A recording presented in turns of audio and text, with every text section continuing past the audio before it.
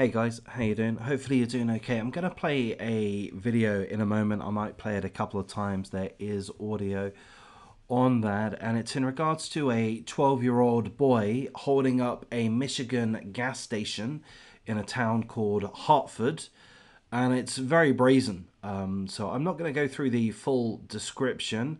I'd rather just play you the video. So it's not, there's no graphic violence, but uh, let's have a look as to what happened.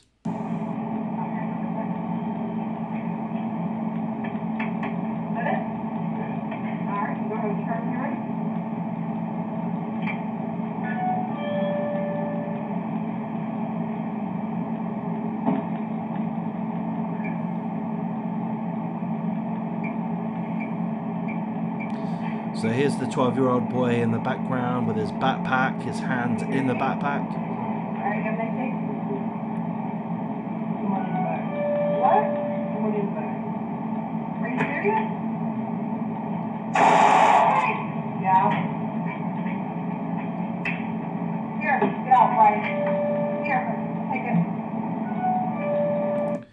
Put the money in the bag, put the money in the bag. The cashier says, Are you serious?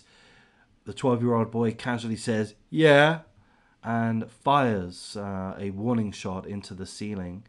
Um, so that's what happened. Uh, again, this happened in a town called Hartford in Michigan. So I'm going to read through part of the article whilst I replay this back perhaps a couple of times. This happened just before 4 p.m. on Wednesday.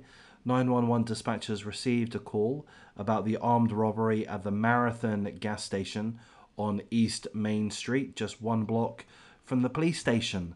One block from the police station. How brazen is this? The boy was promptly picked up by cops minutes later.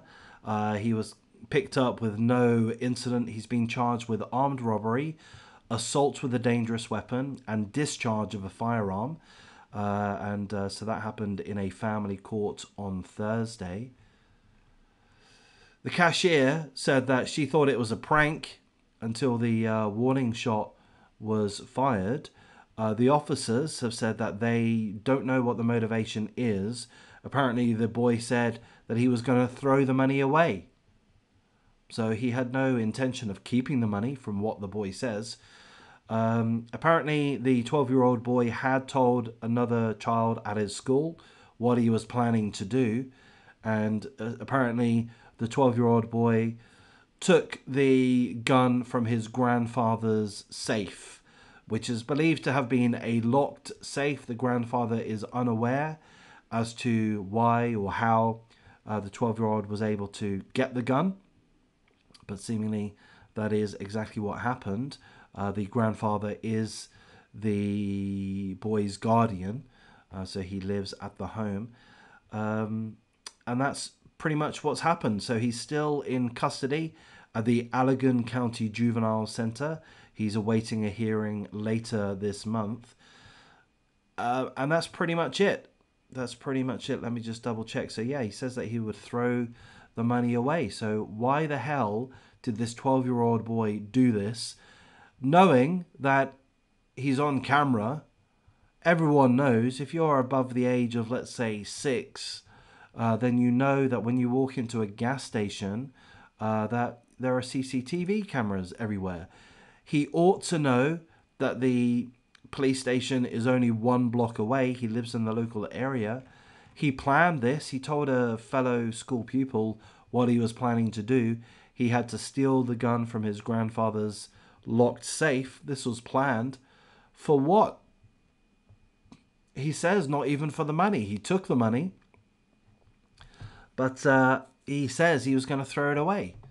So why the hell did this boy do this? Why did he choose to become an armed robber? I don't know the answers. Why did he choose to fire a warning shot into the air? I mean, sure, so he wanted to uh, convince the cashier that he wasn't fucking around, that this wasn't a YouTube prank, that he was being serious about it.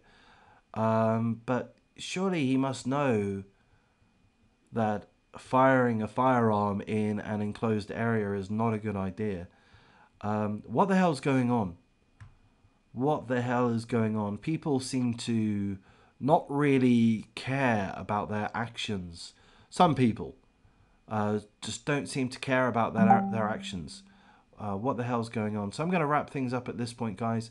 If I've done a half decent job in covering this, please do show me some appreciation. Like, comment, subscribe, share the video as you see fit. I'm going to make a few more videos throughout the course of the day. Uh, hopefully, I do a decent enough job. And uh, thank you for your time.